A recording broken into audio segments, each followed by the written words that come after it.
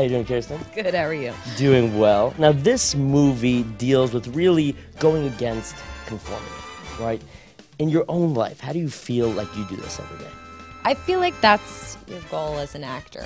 Or for me, anyway. For me, I would like, you know, to always do films that, you know, push boundaries. And for me as an actress, to do things that are out of my comfort zone. And, and so I think that I try to do that creatively in my work.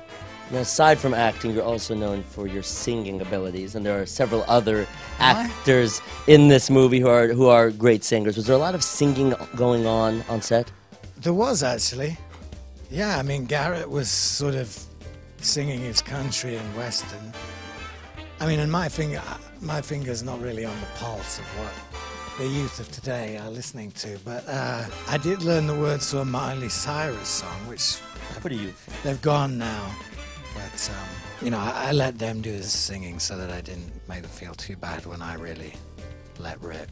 What a world! What a life! I'm in love. Aside from acting, you are very multidimensional. Many people may not realize what a good singer you are. Oh, thank you. Are we going to see an album coming up anytime soon? Probably not an album, but I would do a musical movie. That would be fun. So we wouldn't see a hot single on iTunes anytime. Definitely not. No, it's not my vibe. Some people tell me that you were belting out some country tunes behind the scenes. Really? That's what I've heard. Maybe, uh, maybe here and there. I pretty much stopped it. Uh, I didn't really play along the journey. It was kind of funny because uh, Terrence Howard came on board when we were filming in Montreal, and he came to my room and he said, "Man, Garrett, where's your guitar?"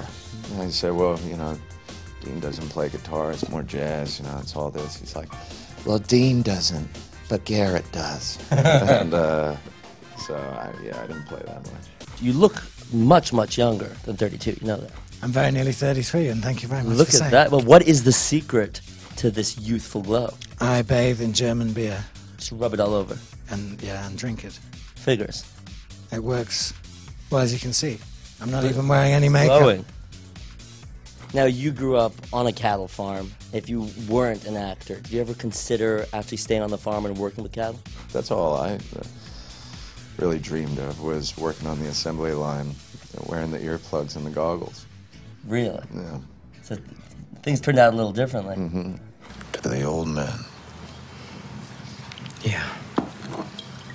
To the good, old, dead, demented men we love. And to the west. We are in the holiday season, and people are giving gifts. What is the strangest gift that you've ever received? I mean, my mom's friends pull out some weird stuff.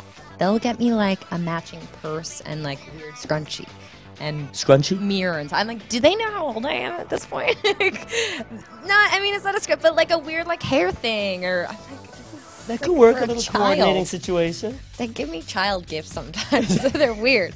or like lots of like angel things or you know what I mean? I was like, that's when I was, you know, a little girl with my best friend. And yes, we did do angel cards, but I've moved on. Jesus, one that one that I've gotten or one that I've given. You can go either way. I got a st- I got a stuffed tiger once. It's kind of weird. It's weirder when you get it when you're 17. That's extremely weird. Yeah.